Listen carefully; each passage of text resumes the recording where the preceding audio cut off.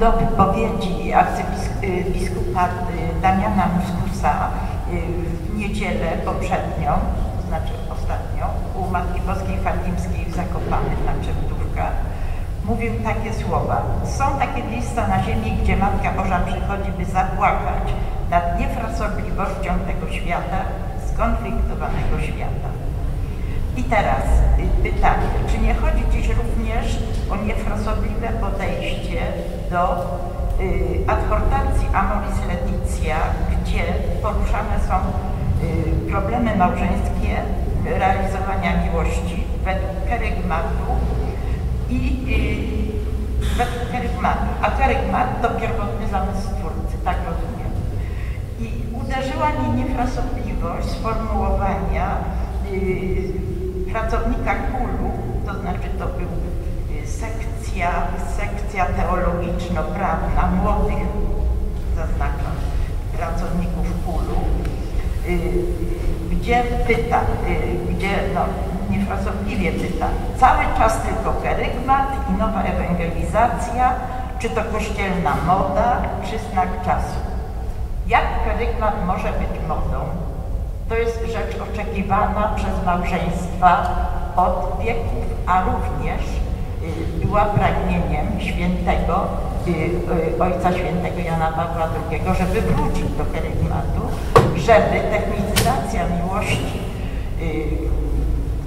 syntotermią i kalendarzami nie była jedynym wykładnikiem realizowania miłości małżeńskiej, bo ona dotyczy tylko części ludzi i nie na całe życie, bo przecież weźmy okres przekwitania 10 lat około i wtedy regularność całkowicie jest zanika, więc nie można, że tak powiem, z tego korzystać, a jakoś małżeństwo realizować trzeba.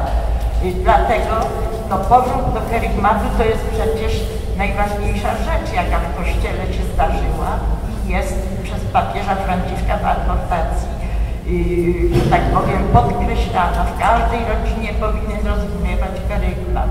Yy, granicą prawa jest Jezus Chrystus, to kula misericordia. Yy, no, kerygmat, no to znaczy, jeżeli, no pytanie, to już dwa pytania. No. I jeszcze jedno, to znaczy, to już jest takie techniczne pytanie. Y, chodzi o to, żeby y, udostępnić w y, ramach, nie imprimatur, tylko, tylko zapomniałam słowa, żeby można kerygmat, że tak powiem, czytać w Biblii, nie tylko Biblię czytać jeden tekst, powiedzmy tak jak było ostatnio, tylko że po skorowicy, ciepło mi to słowo, żeby były skorowice w Biblii Tysiąclecia, w Biblii Romaniuka, za czasów kardynała Wyszyńskiego był skorowic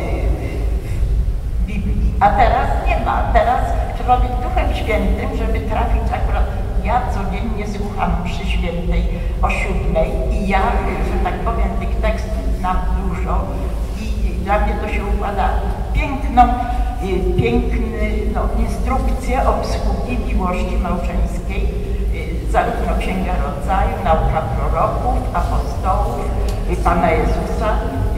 To jest instrukcja obsługi miłości małżeńskiej. No i, tylko kwestia właśnie tego. Bardzo dziękujemy Pani. Poprosimy księdza arcybiskupa o odniesienie. Dziękuję za te pytania. Najpierw od tego ostatniego zacznę. Mianowicie są różne wydania Pisma Świętego.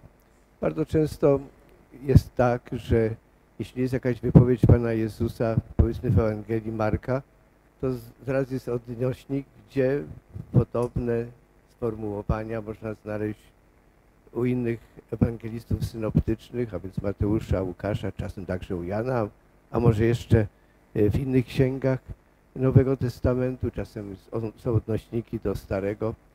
Oprócz tego są słowniki pojęć biblijnych i tam miałaby Pani od razu całą, e, cały spis wszystkich spraw, które by e, można, do których można by znaleźć źródła biblijne.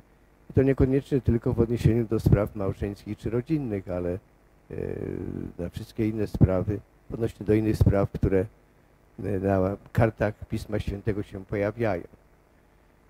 Co do pierwszego pytania, no sprawa jest oczywista, że e, jeśli głosimy Ewangelię, to trzeba głosić Ewangelię, trzeba zaczynać od tych rzeczy najbardziej istotnych i podstawowych, a że niektórzy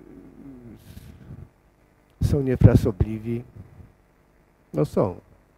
Tylko bym z tego takiego wielkiego problemu nie robił. No, no są, no. Czasem trzeba skorygować, mniej lub bardziej mm, otwarcie, można prywatnie bardziej, yy, zachęcając do tego, żeby w tych wypowiedziach było jak najmniej niefrasobliwości. No ale powiedzmy. Najistotniejsze jest to, żeby zwracać się do świata z przesłaniem Pana Jezusa, Yy, bo On, on jest kluczem dziejów każdego człowieka i całej ludzkości i On, jak mówił Jan Paweł II podczas swojej mszy świętej inaugurującej pontyfikat, On jedynie wie, co w swoim sercu kryje człowiek. I kwestia, żeby otworzyć ludzi na Chrystusa.